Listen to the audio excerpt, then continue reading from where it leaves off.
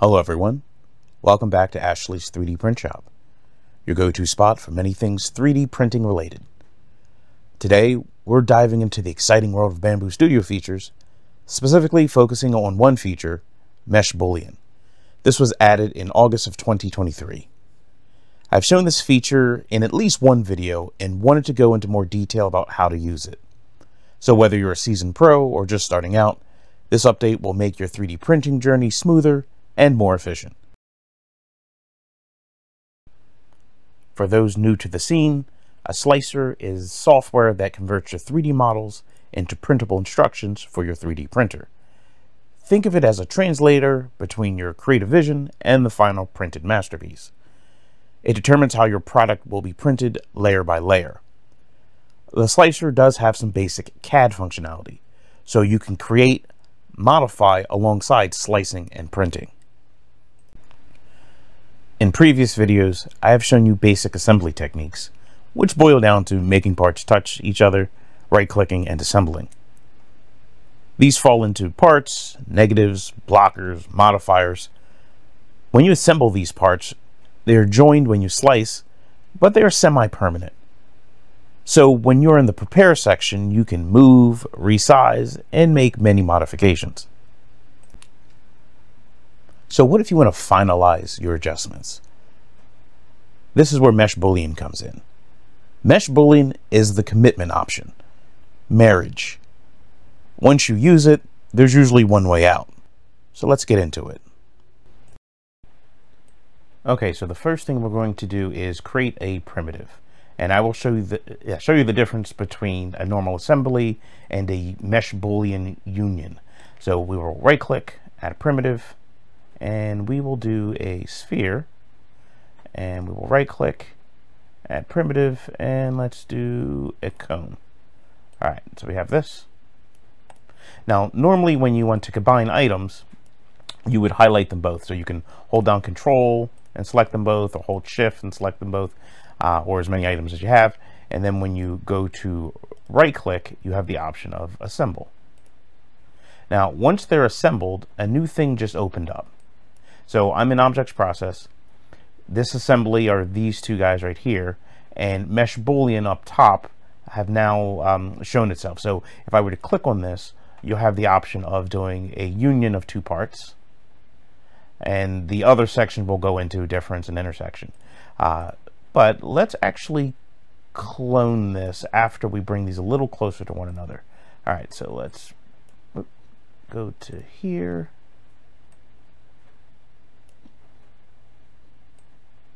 All right. All right, so these guys are close. I'm going to clone this.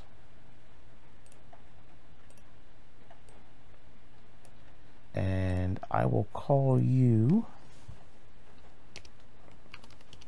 mesh for right now, just to keep them uh, separate. So if we go to slice this plate, we'll see that both of these are together. Now, we're going to enact the mesh boolean. So pay attention to what happens over on this side. So again, this is the, the assembly that has a sphere and a cone. This is the mesh that has a sphere and a cone. If I were to right click on this, and if I go to mesh boolean, what will end up happening is both the cone and the sphere get combined into one section. So again, while this one has two pieces, this one is just one whole piece. If I wanted to um, undo this, uh, typically you would right click and then you would go to split into objects or split into parts depending on how, how it was assembled. Uh, same thing here, you would right click and then you can split them and back into their parts or their objects. There will be some instances where you cannot um, separate them. Uh, so just keep in mind, keep the, uh, the undo button close by. So if we were to slice this, functionally, they're exactly the same. So we have two items that are effectively joined together. So assembly and the mesh boolean. The biggest difference is this is now, again, one whole part. This is still two separate parts.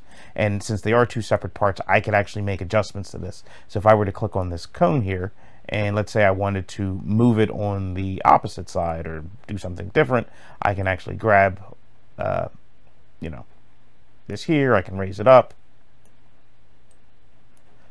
But for this one, it's permanent or semi-permanent.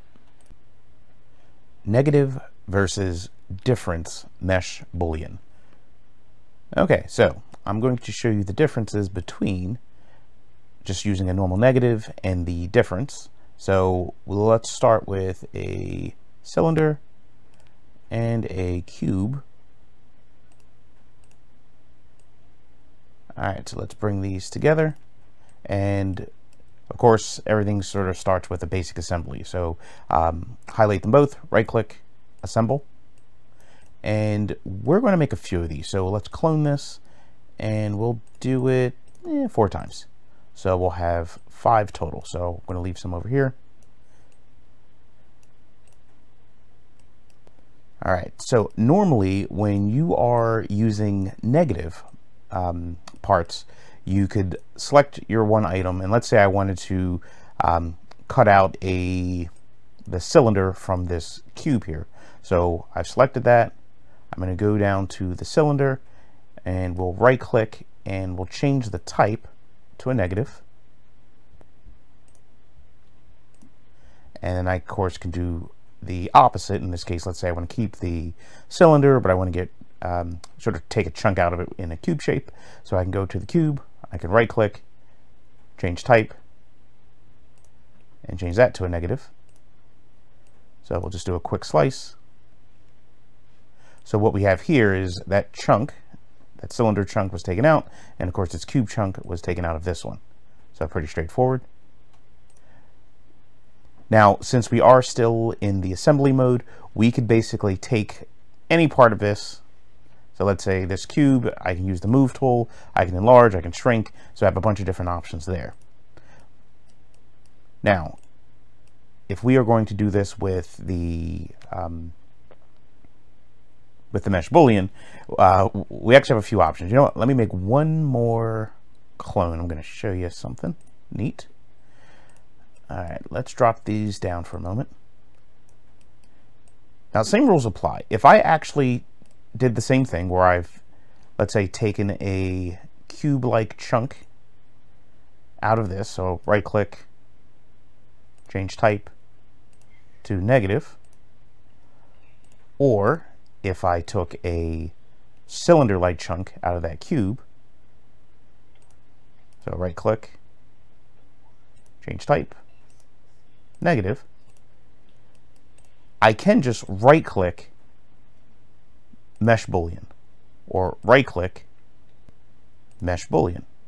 Now I know that looks a little weird, but it actually did take that chunk out. So if I were to slice the plate, we'll have identical parts here and here. So the reason why I made the other ones, I'm going to show you every time you uh, assemble a part, the mesh boolean option will actually highlight. So if you hit the B key or click up here, you can basically go to the difference tab, you can basically, the first part is the, the main um, part, and then the next one is what you're going to subtract from it or cut out. So let's say the second part would be here. And if you do delete input, what will happen is this will stay, this will go. So we'll hit difference, and we can do the same thing here, but in reverse. So mesh boolean or the B key. So go to difference, so we're going to basically start with the main part and we're going to subtract the cube. And then we hit difference. So if we were to slice this plate, so now we all have identical parts, but there are many different ways to get there. And the main difference is if you want this to be permanent, again, mesh boolean. If you wanted to make some adjustments later, a normal negative part.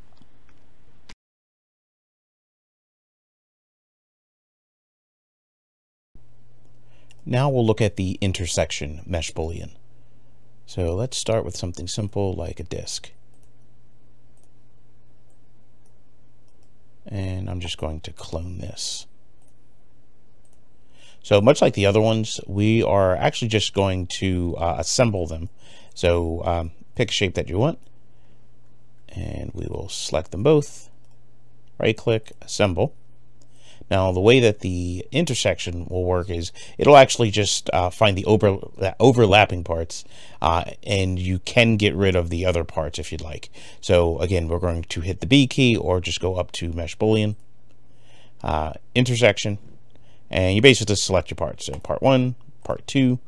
Um, you can decide to delete um, the other side. So remember, the top part is the first one that you selected, and then the bottom part is the second. If you hit delete input, it'll delete the second. The first actually gets deleted um, always. So if I just hit intersection, this is just the combination of the two parts. If I go back one, and if I turn off the delete input, and oops, let's do them both again. And an intersection. It'll keep the, the last one or the one that's on the bottom. All right, so pretty straightforward. And I'll go over another example of how this works. So let's create another uh, primitive, but we'll do different sizes. So let's start with, uh, we'll do a cube. And let us do a cylinder. Now they don't have to be the same size. So if you do have an instance where uh, one thing is taller than another, you can do that. Now keep in mind, it will only count for the intersected parts. So um, actually, I'll show you what I mean. So let's select these both and combine them. So assemble, mesh boolean, intersection, select the first part, select the second part. I'm going to say delete input. Hit intersection, and it will only grab the parts where they were overlapping.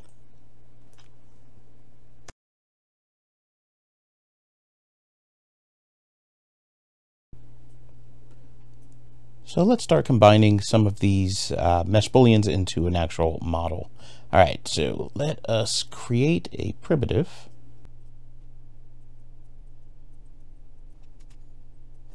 And let's add some text to this. All right.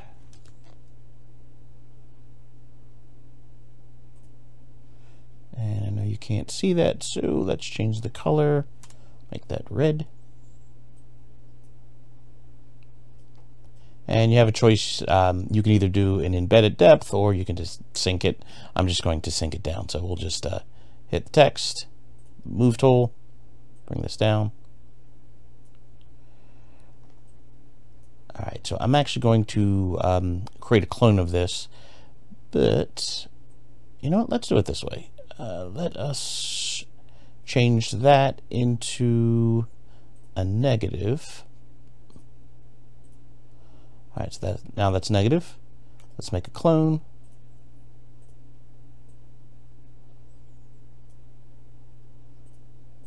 So of course, you know with negatives, if you were to slice this plate, uh, it just cuts into the model. But with negatives, you can't color them. I did uh, create a video uh, not too long ago that shows you how you can add some color to this. Uh, but for this purpose, once you have a negative set, uh, you won't be able to color it. But remember, we now have Mesh Boolean as an option. So if we right click, and since this, we can either go to Mesh Boolean here, or we can hit the B key, but since it's already a negative, we can just mesh it. All right. Now we've effectively just made that change permanent. And from here, we can actually start to color it. So unfortunately, if you go and try to color this, it's not going to work properly.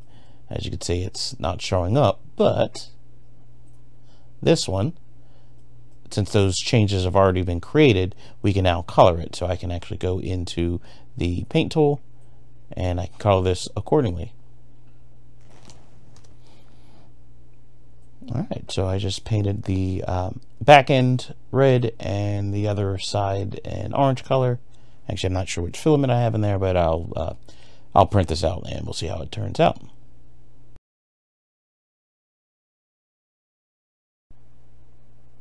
Okay, so let's actually make something. If you've been following my other videos, um, you would know some techniques on how to assemble, how to uh, use the negative, how to use the cuts. Uh, so we're going to make something completely from scratch. And we're going to start with a cone. All right, so let's enlarge this. We'll keep it uniform scale. Uh, we'll set it to 50 on everything.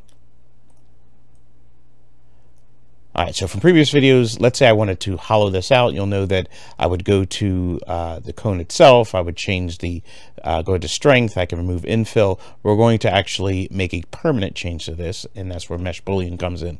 So if I were to, um, let's clone this. So again, this is 50. This is also 50 since it's a clone. We're going to center both of these.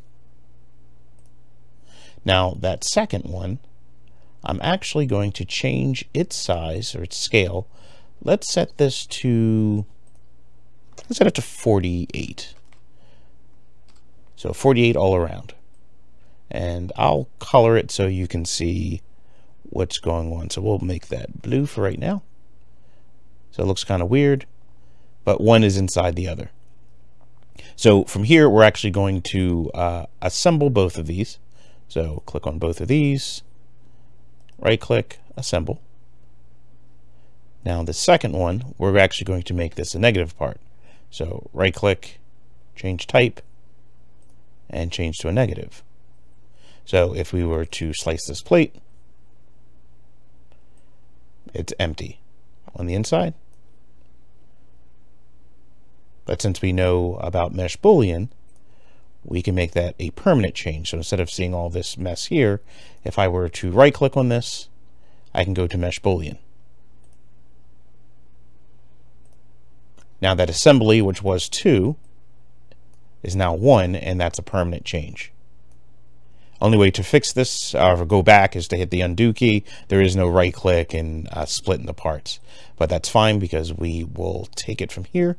Let's actually cut this. So we will start here. Let's make a simple cut. Form the cut. All right, I actually don't need this, so we can trash it. So let's flip this around, but let's center it first. And I'm going to do lay on face. We're going to flip this around. All right. And from here, I'm actually going to right click, add a primitive, and let's do a cylinder. And I'm going to center this.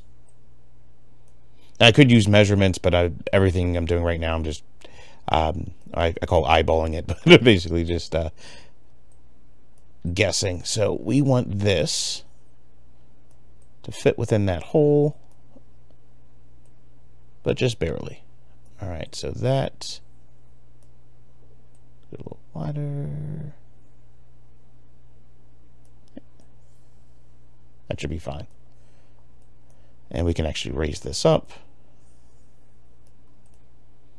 And I'm going to move this over to the side. So same thing as what we did with the cone. So I'm actually just going to right click, uh, right click on this. We'll clone this. So now we have two. I'll make sure they're both centered. And let's look at the size of this. So we'll go to scale. So one of these, we're going to keep the z-axis the same. Uh, so we're at, let's knock the scale down to, uh, we'll do 47 on the x and y. And the z doesn't matter, but I want to make sure that the, um, the one part is above. So we're going to combine these two. So we'll do this one and this one, right click, assemble. And we're going to make sure that inner one is set as a negative part. So right click, change type, negative, good. Now if we were to slice, oh, actually, one of the negative parts is below, but that's fine. Uh, we don't actually need it to slice there, but we're just going to right click and we will do mesh boolean. And now we have hollowed that out. I guess you can sort of see what I'm making. Uh, so again, we'll make sure that we're centered. Make sure that we're centered. And I'm actually just going to flip this one here. Lay on face. That is now flipped. And we're going to combine these two assemblies. So right click, assemble. And from here, we're just going to raise this up.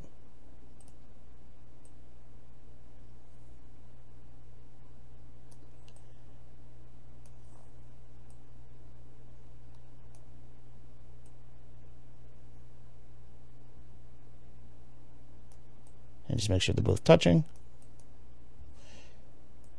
And if we were to slice this plate,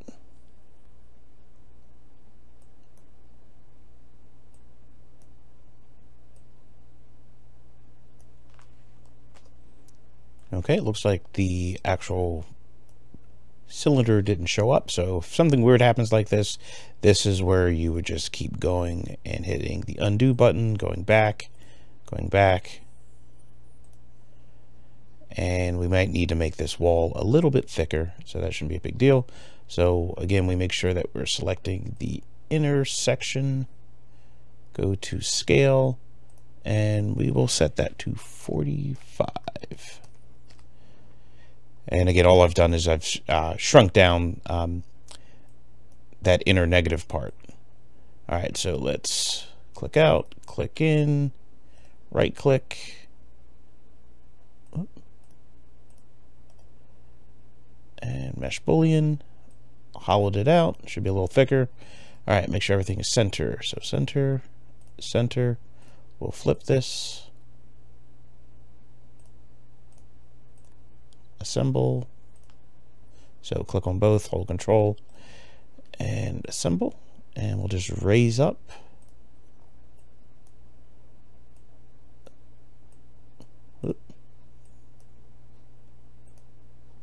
This part.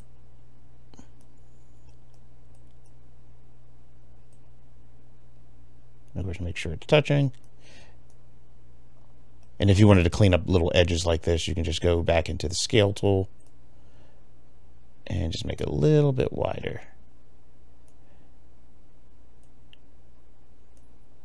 And check the bottom. That looks good.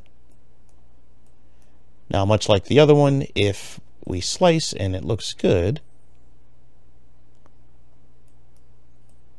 we could finalize this with a simple mesh boolean of its own. So if we right click and mesh boolean, or again hit the B key, and the union and the um, the normal connecting of parts is basically the same. So you can just right click, mesh boolean, and now it's locked in, and I won't be able to make any adjustments, but everything looks fine. And usually if you see an error here, we're unable to perform mesh boolean operational model. Um, some negative parts won't combine.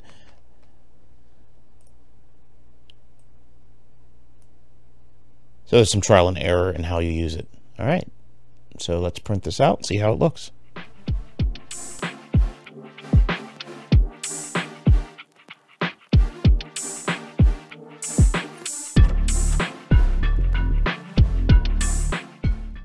Okay, so this is our very basic negative. This will be our special mesh boolean. So if you look inside here, it's more than just the back color of red. Bring it a little closer. We are also able to color the side. Because typically that is not possible if you just have a negative set or even with a modifier.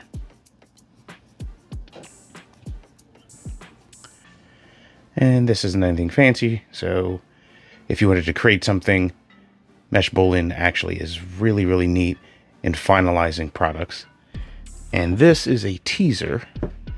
I haven't shown you guys how to do this, but I'm still practicing uh, how to actually get an image or a logo on something that is curved. All right, so once I nail down all the steps, expect a video about that. That concludes this part of the video. There's actually a lot more you can do with Mesh Boolean, so I'm still wrapping my head around some of the extra features, and I'll be releasing that as we go. But if you have any questions, please drop them in the comments. And like always, thank you for watching.